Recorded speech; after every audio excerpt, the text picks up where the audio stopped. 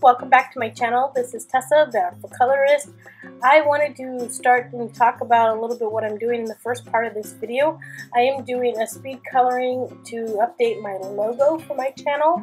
And what I did was I used some Staedtler fine liner uh, pens and I did use some Faber-Castell Polychromo colored pencils. And my go-to, I used the Winsor Newton White Spirit with a number one blending brush or blending stump, sorry, blending stump or stick, whatever you want to call it, uh, to blend out my Faber-Castell colored pencils. At the end of this part of this video, I will be talking to you guys and kind of quickly going over the how I uh, achieve the stop animation for my channel uh, for the uh, opener or intro to my channel. So if you guys want to know that, uh, I will have links down below for the timestamp so that you guys can jump to that if you want. I found this one just really fun to do because it was something unique and different. Um, if you guys want to know, I will put all of the descriptions of what I'm using in the description box below. I do have to say that I did use watercolor paper for this and it kind of gave it a very um, more textured or grainier look to the piece and I don't know if I like it but we'll go for it and we'll see if that's something that I want to do in the future. So yeah stay tuned and I will come back to you guys and talk to you guys a little bit about kind of explaining what I'm doing on screen when I do the stop animation. So thanks for watching. I'll see you guys in a little bit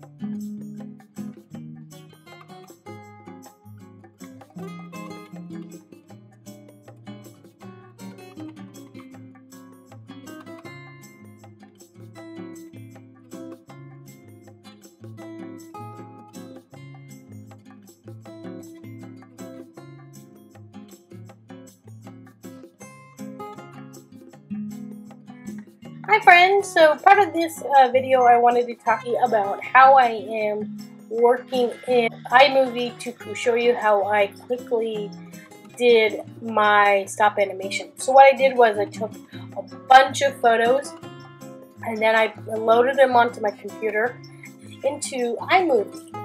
And then once I got them into iMovie, were imported into the video. There's a little uh, circle with an I, undercase I, or a lowercase i, uh, iMovie program. And what I did was I went into there and I set all of the images at a 1 or a 0.1% or 0.1, it's like a tenth of a second duration. And what that does is it allow it's the slowest that iMovie does, and it allows you to be able to create. It allows you to create 24 frames per second stop animation. Unfortunately, iMovie only allows you to do 24 frames per second, not the 30 frames per second.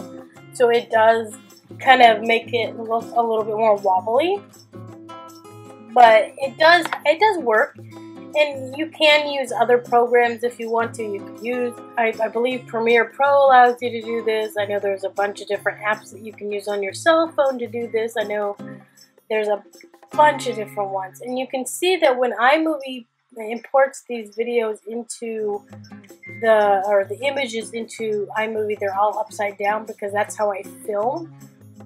I film from a top-down version view, and so it's backwards. So I always have to remember to flip my images and to make them go more of uh, a front view. So yeah, so that's how I did my stop animation. I just took a bunch of pictures, moved the tray, took another picture, moved the tray a little bit more, and then I uh, just basically just kept moving them and moving. And then once I got it to what I wanted to look like, I had my video. When so you'll see in a few seconds um, how I how the video looks. You really don't have to do a lot.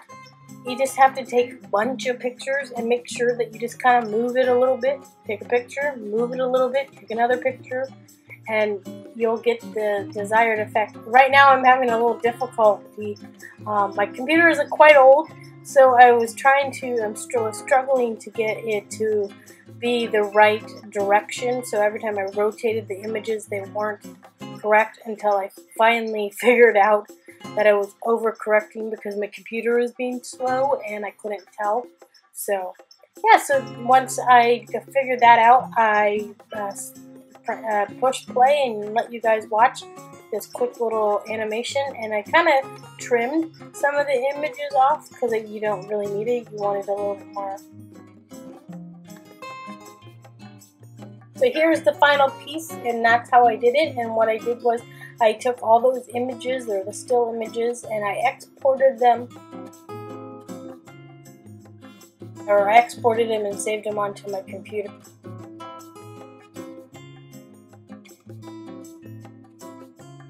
And thanks for watching and I hope you guys enjoyed this video. This is the final piece that I did for this video and I really had a fun time.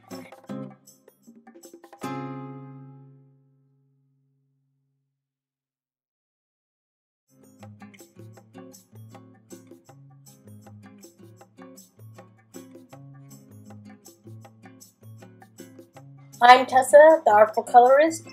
Thanks for watching. Don't forget to stay colorful and see you all next time.